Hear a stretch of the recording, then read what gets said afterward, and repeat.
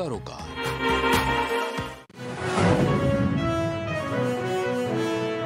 राष्ट्रपति के प्रोग्राम में गवर्नर की सिटिंग पर विवाद, चंडीगढ़ एयर शो में दो सीट दूर बिठाया।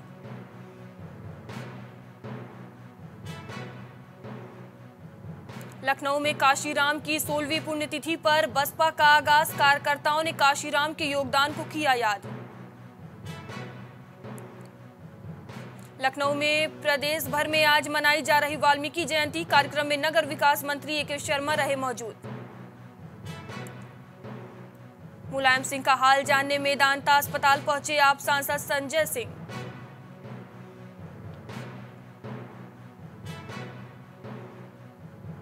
राम रहीम को मिलेगी पैरोल, सिरसा और राजस्थान के डेरे में तैयारियाँ हुई शुरू।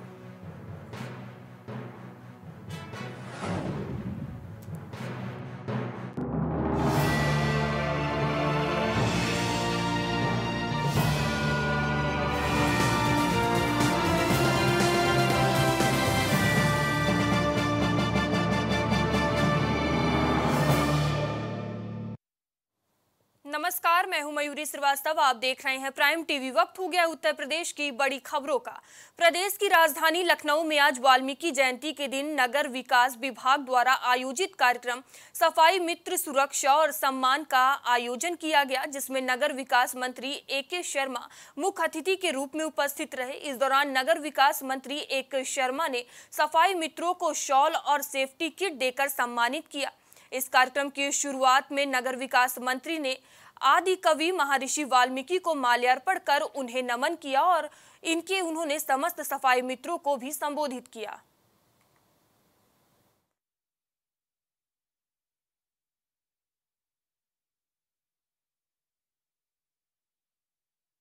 कनाडा के के एम्बेसडर का ज़िक्र किया था अब अपने भाषण में कि उनको लखनऊ काफ़ी अच्छा लगा था। लेकिन स्वच्छता के इस बार के सर्वेक्षण में लखनऊ का स्थान जो है पहले बारहवा था लेकिन इस साल सत्रहवा स्थान आ गया। तो इस पर क्या कहेंगे आप? ये सर्वेक्षण मार्च 2022 तक के की जो सर्वेक्षण है जी। के समय काल का है। कनाडा के राजदूत अभी एक महीना पहले आए थे। आज महर्षि वाल्मीकि जी के पावन जन्म जयंती के अवसर पर हम लोगों ने नगर विकास विभाग ने ये सोचा कि अपने प्रदेश के सभी नगर निकायों के सभी सफ़ाई कर्मचारी मित्रों को, जिन्हें सफ़ाई मित्र हम कहते हैं, उन सबको इकट्ठा करके वो जो भूल गए हैं या हम भूल गए हैं कि वो भी नगर विकास विभाग के भाग हैं या अभिन्न भाग हैं, यूँ कह लीजिए, ये बात हमें भी स्मरण रहनी चाहिए, उनको भी स्मरण रहनी चाहिए कि वो नगर विकास जैसे एक बड़े विभाग के हिस्से हैं। यह याद कराने के लिए और विशेष रूप से उनकी जो काम करते करते जो सुरक्षा के जो सामान होते हैं, जो अभी हमने किट वितरण किया, आपने देखा होगा कि उनके कामकाज से लगे हुए कुछ सुरक्षा के सामान होते हैं, वो उन्हें देने के लिए और जो उनका सम्मान है समाज में, हमारे मन में, हमारे दिल में, जो उनका सम्मान होना चाहिए, वो उनको प्रतिस्थापित करने के लिए हमने ये कार्यक्रम आज सफ़ाई मित्र सुरक्षा एवं सम्मान दिवस के रूप में मनाने का मनाने का निर्णय मन, मनाने का निर्णय लिया। महर्षि वाल्मीकि जी के जन्म जयंती के पावन अवसर पे हम लोगों ने सोचा कि उनको नमन करते हुए उनको अपने श्रद्धा सुमन चढ़ाते हुए नगर विकास विभाग के एक महत्वपूर्ण कड़ी जो सबसे महत्वपूर्ण कड़ी हमारे सफ़ाई कर्मी मित्र हैं, जो सफ़ाई मित्र हैं, उनके सम्मान का और उनकी सुरक्षा की बात को आगे बढ़ाने का हम एक अच्छा कार्यक्रम कर लें। उसी सोच के साथ आज यहाँ लखनऊ में, निदेशालय में आप देख रहे हैं, हज़ारों लोगों की संख्या है और अन्य निकायों में लगभग साढ़े पाँच सौ स्थलों पे हमारे निकायों के कर्मचारी और अधिकारी और हमारे पदाधिकारी सभी बैठे हुए हैं। हमारे नगर निगमों के महापौर बैठे हुए हैं, उनके साथ सभी अधिकारी और वहाँ काम करने वाले सभी सफ़ाई कर्मी बैठे हुए हैं। ऐसे लगभग सत्ताईस हज़ार लोगों की संख्या के साथ आज का ये सफ़ाई मित्र सुरक्षा और सम्मान दिवस मनाया गया है। बहुजन समाज पार्टी के संस्थापक काशीराम की आज सोलहवीं पुण्यतिथि के अवसर पर। राजधानी लखनऊ में सैकड़ों की तादाद में बसपा कार्यकर्ताओं ने काशीराम के योगदान को नमन किया। आपको बता दें कि बसपा अपने संस्थापक काशीराम की पुण्यतिथि को हर साल दिवस के रूप में मनाती है। साथ ही प्राइम टीवी ने अलग अलग जिलों में आए बीएसपी के कार्यकर्ताओं से बात की और आगामी लोकसभा चुनाव को लेकर काशीराम के योगदान के बारे में भी जाना। देखिए हमारी एक खास रिपोर्ट।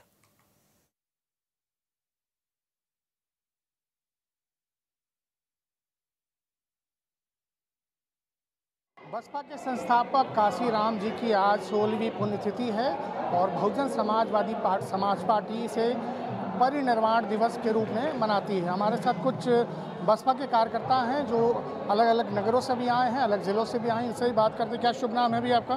मेरा नाम संजीत सिंह कुशवाहा, पूर्व पार्षद, कानपुर नगर।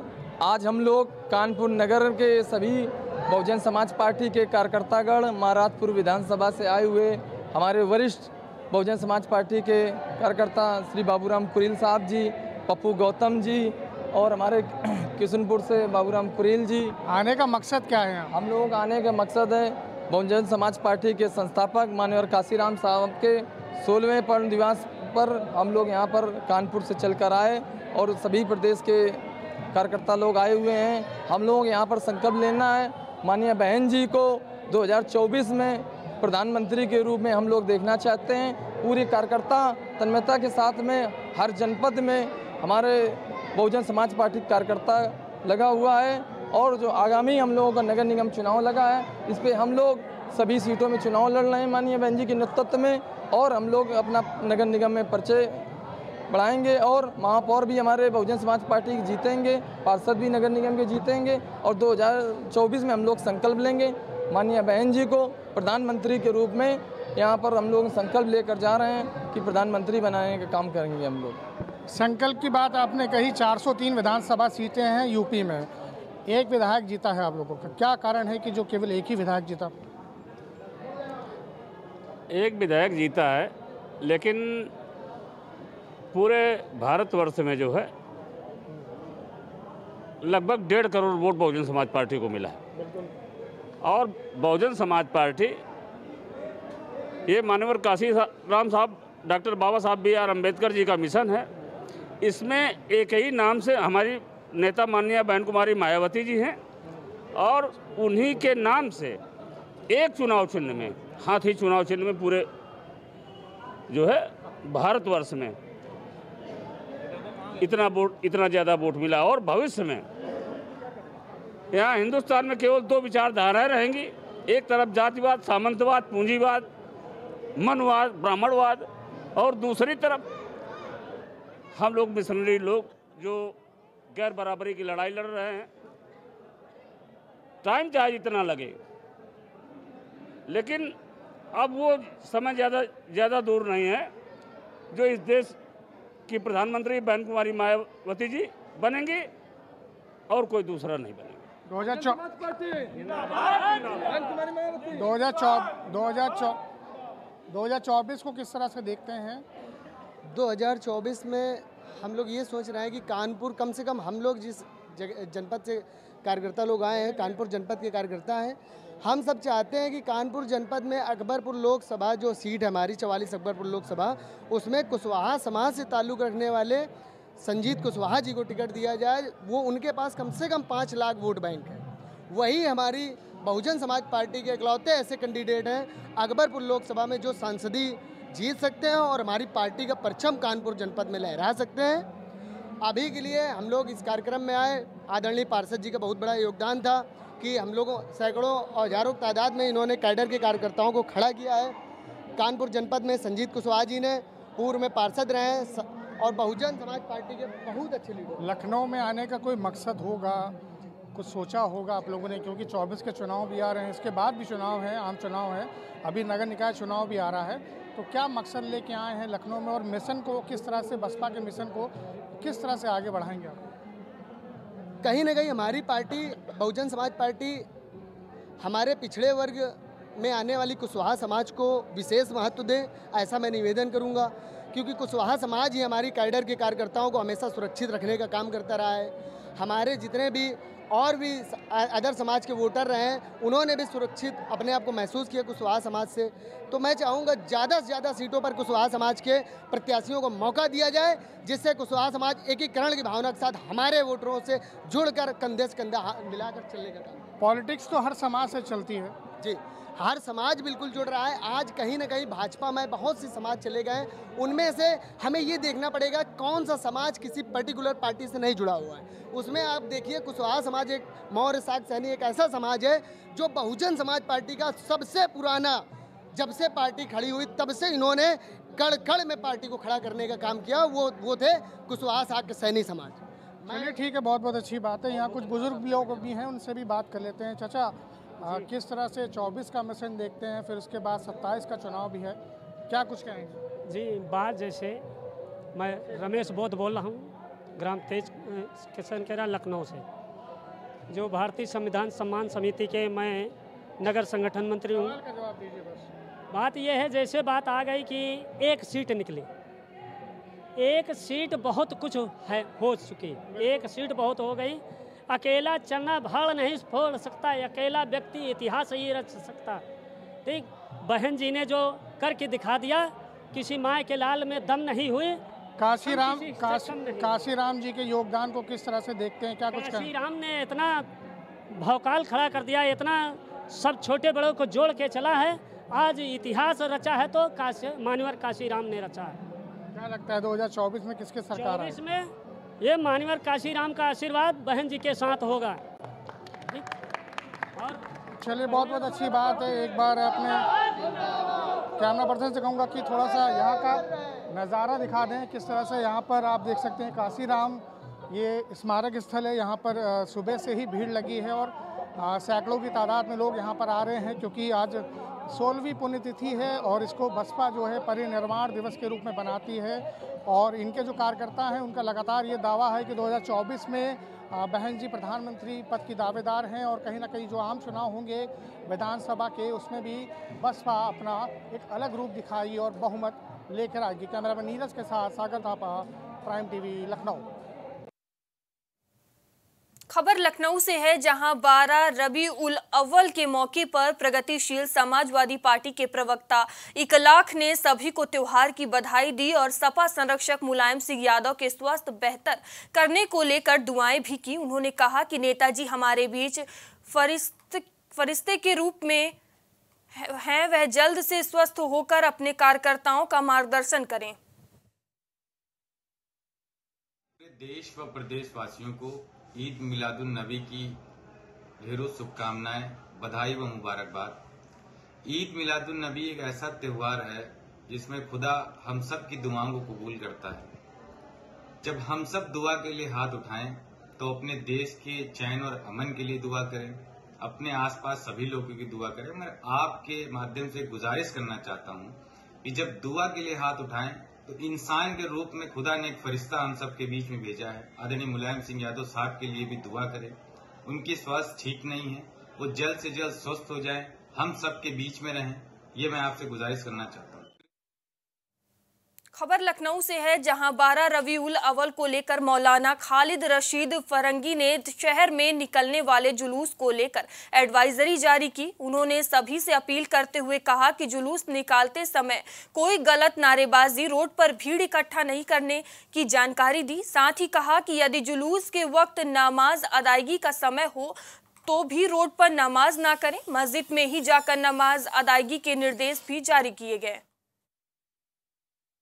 रबील के मुबारक मौके पर हमारे शहर लखनऊ में तारीखी जुलूस मद साहबा निकल रहा है जिसमें कि लाखों की तादाद में लोग शामिल हो रहे हैं। और ये जुलूस अमीनाबाद पार से चल के मौलवीगंज और रकाबगंज नादान महल रोड होते हुए नफाज से मुड़ करके और ईदगाह बाग में जा करके एक जलसे में तब्दील होगा और इस जुलूस में लोग तमाम अंजुमने, बड़ी तादाद में अपने अंजुमनों के बैनर लिए हुए हैं। रायबरेली में जश्न ईद मिलादुनवी के पर्व पर जुलूस निकाला गया। गैर मुस्लिम लोगों ने भी स्वागत किया। आपको बता दें कि ख्वाजा गरीब नवाज़ की नगरी अजमेर में आज पैगंबर हज़रत मोहम्मद की पैदाइश के जन्म को लेकर मुस्लिम समुदाय ने धूमधाम से मनाया, जिसमें ईद मिलादुनवी के पर्व पर शहर में जगह जगह जुलूस निकाला गया। खास बात यह है कि गैर मुस्लिम लोगों ने भी जुलूस का स्वागत किया।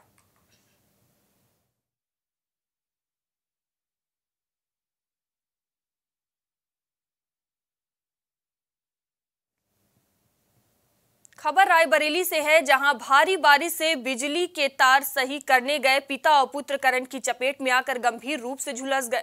तो वहीं ग्रामीणों की मदद से दोनों को पास के ही सामुदायिक स्वास्थ्य केंद्र में इलाज के लिए भर्ती कराया गया है, जहाँ डॉक्टरों की टीम ने दोनों को मृत घोषित कर दिया है। सूचना पर पहुँची पुलिस ने शवों को अपने कब्जे में लेकर पोस्टमार्टम के लिए भेज दिया है।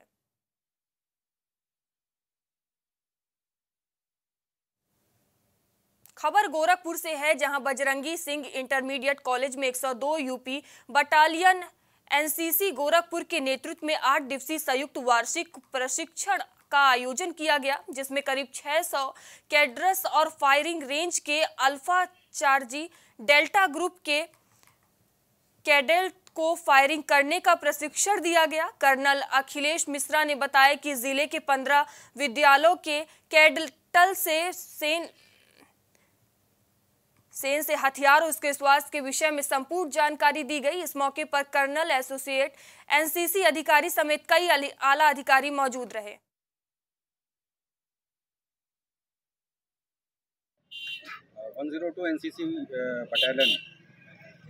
की जो एरिया ऑफ़ रिस्पॉन्सिबिलिटी है वो महाराजगंज डिस्ट्रिक्ट और महाराजगंज डिस्ट्रिक्ट के सुदूर और खासकर बॉर्डर एरिया के जो इंस्टीट्यूशंस हैं, उनको हमने एनसीसी प्रदान की है। इस कंबाइंड एनुअल ट्रेनिंग कैंप 158 जो कि 6 अक्टूबर से 13 अक्टूबर तक यहाँ पर किया जा रहा है। उसमें 15 विद्यालय के 600 एनसीसी कैडेट्स जिसमें से अराउंड 350 बॉयज़ कैडेट और तीन डेढ़ सौ गर्ल कैडेट जो है इसमें हिस्सेदारी करते लखीमपुर खीरी में ढकिया मदन गाँव में कच्ची दीवार गिरने से महिला गंभीर रूप से घायल हो गई। पाँच दिन से हो रही लगातार बारिश से दीवार गिर गई। आपको बता दें कि महिला को अस्पताल में भर्ती कराया गया। वहीं महिला की हालत नाजुक बनी हुई है। दीवार गिर गई। यहाँ पे स्नान कर रही थी हमारी भाई। तो दीवार गिरने से दब गई तो हाथ और सिर में चोट आई है पैर में चोट आई है। सिर फूट गया है खून निकलने लगा है हाथ से खून निकल रहा है पैर में चोट आई है खून निकल रहा है। क्या किसी प्रशासनिक अधिकारी को सूचना दी है घटना की? अभी हमने लेखपाल को फ़ोन किया था तो लेखपाल ने कहा है हम आ रहे हैं देखने के लिए। कानपुर के फूलबाग में वाल्मीकि जयंती कार्यक्रम में आरएसएस प्रमुख मोहन भागवत ने शिरकत की। वाल्मीकि समाज को साधते हुए उन्होंने 2024 की नींव रखी, साथ ही कहा कि हिंदू समाज को वाल्मीकि समाज पर गर्व करना चाहिए, क्योंकि भगवान राम को हिंदू समाज से परिचित कराने वाले भगवान वाल्मीकि थे। और इस कार्यक्रम में सुरक्षा व्यवस्था के चलते पुलिस प्रशासन अलर्ट मोड पर दिखी।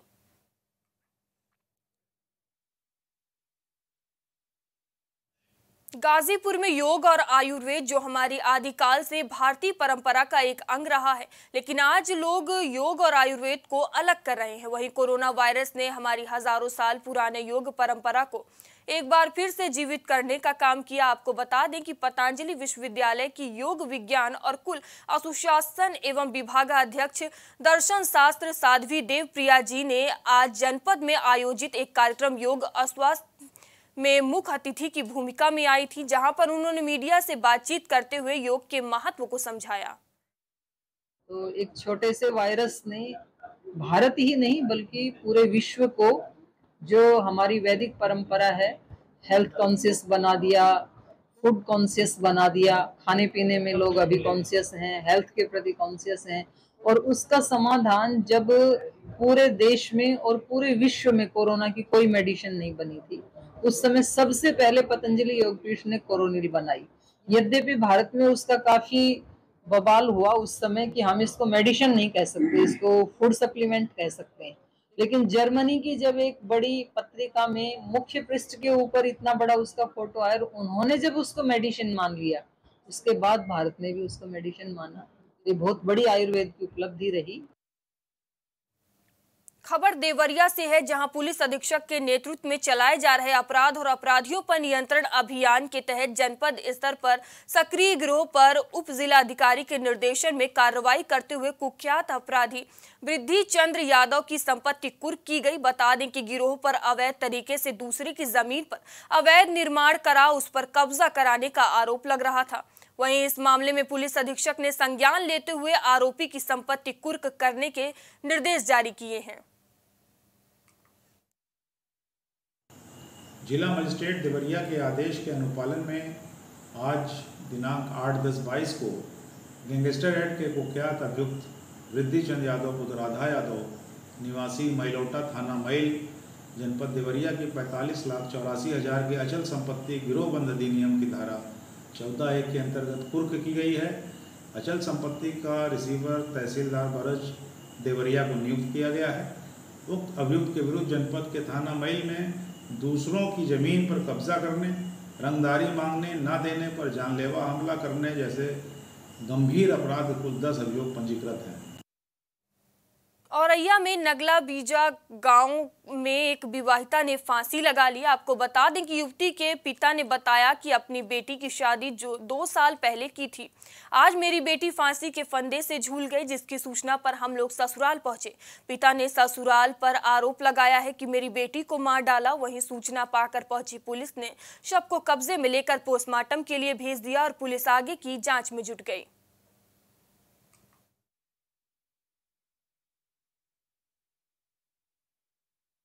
सर हम बाहर से आए बिधुना गए थे। मामा को लेके। वहाँ से मामा चले गए अपने वहाँ। हमारे घर पे। खाना पीना खाया। लाइट थी नहीं। हम बच्चे लेके यहाँ लेट गए बाहर। वो अंदर चली गई। कौन? मेरी बीवी दिव्या। दिव्या। हाँ। हम्म, उसने कबाड़ी बंद कर लिए अंदर लेट गई वो। ये बाहर वाले और कमरे वाले भी बंद थे कबाड़ी हम्म, सुबह देखा हमने तो वो झूली हुई थी फांसी की फांसी लगा ली मार डाली था। क्या? कौन है? दिया। आपकी लड़की। क्या नाम है लड़की का? दिव्या जी। दिव्या। कहाँ हुई थी शादी? यह पटना गाँव है नंगला बेजा पटना। थाना? थाना अरबा कटना। तो कैसे क्या हादसा हुआ बच्ची के साथ? अरे बच्चा छुड़ाए लो साहब और वही मिलने लड़ाई इनकी भाई हमें खोने नहीं करो। हम्म, कब शादी हुई थी? अब है साहब का दो साल ही है। खबर अलीगढ़ से है जहाँ दो पक्षों में चल रहे पारिवारिक विवाद को लेकर झगड़ा इतना बढ़ा कि एक पक्ष ने फायरिंग कर दी जिसमें बच्चा गोली लगने के चलते घायल हो गया। वहीं घटना की सूचना पर पहुँची पुलिस ने मामले को शांत कराते हुए घायल को मलखान सिंह जिला अस्पताल में इलाज के लिए भर्ती कराया।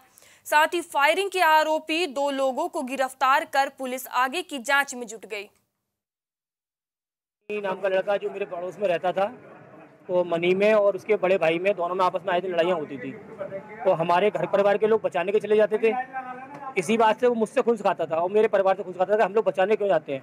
वो अपने बड़े भाई को भी जान से मार दी और हमें भी मारने के लिए। अब वो कल से मेरे को धमकियों पर धमकियाँ दिया रहा था कि मैं तेरे को एक हज़ार परसेंट गोली मार दूँगा। कौन दे रहा है मनीष गुप्ता। कौन ये मनीष ये मेरे चाचा का लड़का है। परिवार के लोग हाँ। परिवार का ये मेरे चाचा का लड़का है लेकिन कुछ चार महीने से ये नौरंगाबाद शास्त्री नगर गली नंबर चार में रहता है। चार में शायद समझी शायद चार में रहता है गली नंबर चार के आसपास। आज पुलिस वो गोली मारी गई है लड़के को। दो तीन फायर हुए हैं। दो ऊपर दो अंदर चलाए, एक ऊपर फाइव फायर किया हुआ है। और सामने तीनों तीनों जने खड़े थे। बाप, बेटी, बेटा। बाप को गोली मारी थी, बच्चे को गोली लगी है पैर में। और इतनी देर में हड़बड़ी है। हमने देखा, मैंने साथ पटाखे चल रहे हैं। इतनी भागे हम लोग। देखा तो गोली चल रही है घर में। घर में घुस के गोली मार कर गए हैं। धमकी दे रही थी कई दिन से। जो मेरे घर के बीच में बोलेगा, मैं उसे गोली मार दूँगा। कौन है वो शख्स? मनी गुप्ता हमारी चचिया ससुर के लड़के हैं।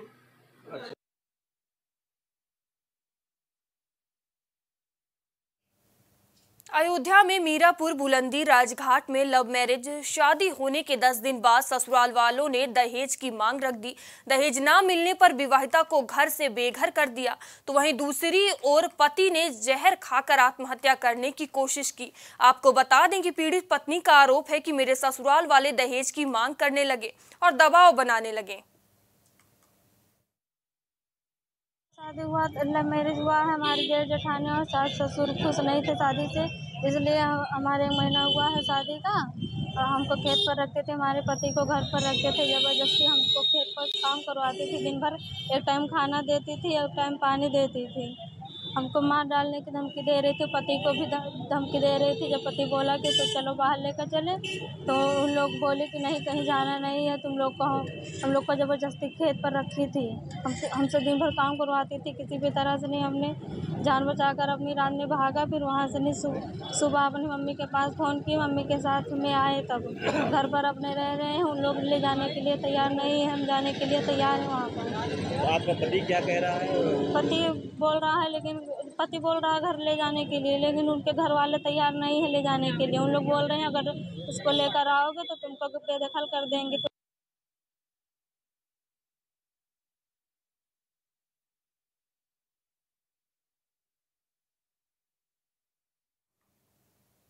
खबर अलीगढ़ से है, जहाँ भारी बारिश के कारण शहरी और ग्रामीण इलाकों को जलभराव की समस्या का सामना करना पड़ रहा है। वहीं सड़कों पर भरे पानी की वजह से शहर में गंदगी का अंबार भी साफ़ देखने को मिल रहा है, जिस पर नगर निगम के अधिकारी कुछ भी कहने से बच रहे हैं। भारी बारिश की वजह से जिला अधिकारी के निर्देश पर आगामी दो दिन के लिए कक्षा एक से कक्षा बारह तक के सभी स्कूलों में अवकाश घोषित कर दिया गया है। तो वहीं बारिश की वजह से किसानों की हज़ारों बीघा फ़सल भी जलमग्न हो गई है। के नाम पर गड्ढे वड्ढे हो रहे हैं, गलियों में और रोडों पे। किसी की गाड़ी तो किसी का एक्टिवा, किसी का स्कूटर। मैं भी अभी बच गया था गाड़ी गिरने से। अभी मैं आ रहा था यहाँ तक का पानी भरा हुआ घोंडी तक का पानी भरा हुआ। नहीं बच्चे स्कूल जा पा रहे, ना कोई अपने व्यापार, अपने ऑफ़िस वगैरह जा पा रहा। नगर निगम की बहुत बड़ी लापरवाही है। देखिए, आज के समय में अलीगढ़ महानगर के अंदर जल भराव की एक ऐसी समस्या हो गई है, जिसके बारे में सूरज को दीपक दिखाने जैसी बात हो गई है। क्योंकि थोड़ी सी बारिश अभी तो फ़िलहाल, अभी आपने कुछ दिनों पहले भी देखा कि तेज़ बारिश की श्रृंखला रही। आज दो दिन से जो लगातार बारिश हो रही है, उसके बाद में पूरा अलीगढ़ जलमग्न है। आप मेरे पीछे देख सकते हैं, तमाम गाड़ियाँ बंद हैं। जनता परेशान है। आम ज़रूरत की चीज़ों को लेने के लिए भरे हुए पानी में जाना पड़ रहा है। नतीजा ये है कि लोगों के दिल में एक भय व्याप्त हो गया है कि यदि हम घर से बाहर निकले तो हम परेशान हो जाएँगे। गोंडा में ब्लॉक इटिया थोक बाढ़ से तबाही आ गई है। पिछले दस दिन से लोग डर के साए में जीने को मजबूर हैं। बाढ़ की तबाही थमने का नाम नहीं ले रही है। आपको बता दें कि विशुही नदी जमकर तांडव मचा रही है। सैकड़ों घरों में पानी भरा है। कई लोग पलायन करने को मजबूर है। सरकार ऐसे लोगों की कोई मदद नहीं कर रही है। इटिया थोक बाज़ार मोहम्मद जमील मेरा नाम है। और ये सामान बाज़ार से लेकर आए हैं। और घर आज एक हफ़्ते से डूबा हुआ है। अच्छा। अच्छा प्रशासन की तरफ़ से कोई आप लोगों के पास पहुँचा जानने के लिए कुछ मदद के लिए? कोई नहीं पहुँचा आज तक नहीं पहुँचा। आज एक हफ़्ते से परेशान है कोई यहाँ पहुँचा नहीं है। दिक्कतें तो बहुत सारी हो रही हैं। पर कौन है यहाँ देखने वाला? कोई अधिकारी भी नहीं है कोई शासन प्रशासन भी नहीं कोई आज तक आया भी नहीं। देखने के लिए झांकने के लिए कैसे हो क्या है कोई मतलब नहीं बैराजों व पहाड़ों से छोड़े गए पानी गोंडा से लगभग 22 किलोमीटर की दूरी पर यह इटिया थोक इटिया थोक क्षेत्र में तेलियानी कानून गाँव के ग्राम सभा में हम खड़े हैं। ये प्राइम टीवी की टीम आज आकर यहाँ पहुँची है। आज हम आपको यहाँ की सच्चाई दिखाएँगे कि प्रशासन जो ताल ठोंक रही है, क्या सत्यता है और क्या यहाँ की जनता बया कर रही है। आप देख सकते हैं तस्वीरों में कि इधर ये धान की फ़सलें बिल्कुल डूबी हुई है, गन्ना की फ़सलें डूबी हुई है, और लोग, बच्चे को देखो, इस तरह से स्कूली बच्चे हैं, आने जाने को इसी पानी में मजबूर हैं। तमाम ऐसे जहरीली जीव जंतु पानी में आते जाते रहते हैं। इनका खतरा, इनके जीव का खतरा समस्या बना रहता है। अभी हम आपको आगे भी ले चलेंगे गाँव में, वहाँ भी बात करेंगे और क्या सच्चाई है, उसको दिखाएँगे। प्रलय लीला यहाँ आप ये भी देखेंगे कि कुछ घर इस तरह से थे जो छोड़ करके अलग पलायन कर चुके हैं। हमारे साथ ये मौजूद हैं। क्या इनसे हम चर्चा करेंगे बातचीत करेंगे कि इनकी क्या समस्याएँ हैं। क्या नाम है भाई साहब? हमारा नाम हसमत अली है। अच्छा। और कहाँ रहने वाले हैं? ग्राम अच्छा। रोड। हाँ। और घर डूब गया है पानी घर डूब गया है आपका? पानी से डूब गया है और सीधा पानी बर्तन सर्तन सब उसमें डूब गया है। हम लोग किराए पे रह रहे हैं। किराए पे अलग बिल्डिंग पे रह रहे हैं? कौन सा मकान है आपका? कौन सा मकान? दिखाइए जरा। ये सामने वाला। ये, ये छपरे का। ये सामने वाला? हाँ छपरे का मकान। आप ठीक देख सकते हैं कैमरे में वीडियो में देख सकते हैं कि सामने इस घर के व्यक्ति हमारे पास मौजूद हैं और ये अपना वहाँ से जो भी सामग्री था, अपना परिवार था, वो लेकर यहाँ से पलायन कर चुके हैं। पानी की ये विनाश लीला जितना बताया जाए, उससे ज़्यादा है कहीं, लेकिन पूरी बात हम बयां नहीं कर सकते हैं, बता नहीं सकते हैं, लेकिन इनका दर्द, इनका दुख देखने से खुद अपने आप को बहुत कष्ट महसूस होता है। साथ साथ में ये भी कह रहे हैं लोग कि यहाँ कोई शासन, कोई प्रशासन या कोई कर्मचारी या स्वास्थ्य महकमे की टीम यहाँ अभी तक नहीं आई है। ये बड़ा दुख का विषय है। प्रशासन को ध्यान देना चाहिए। इनकी जो समस्याएँ हैं, जो दुख है, उसमें से जो सहयोग में पड़े, सहयोग करना चाहिए।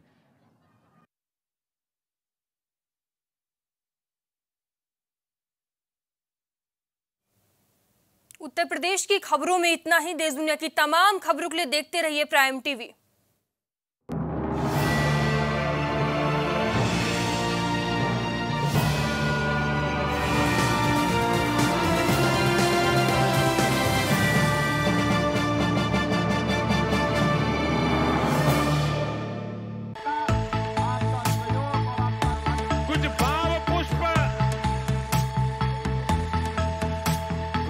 आप देख रहे हैं प्राइम टीवी सच साहस सरोकार